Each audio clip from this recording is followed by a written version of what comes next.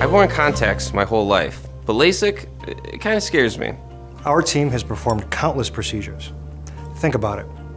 Contact lens overuse has the potential to lead to significant damage to your eyes, and LASIK is statistically much safer than years of contact lens abuse. Have your questions answered with a call or text to 892 2020 or visit atwalleye.com.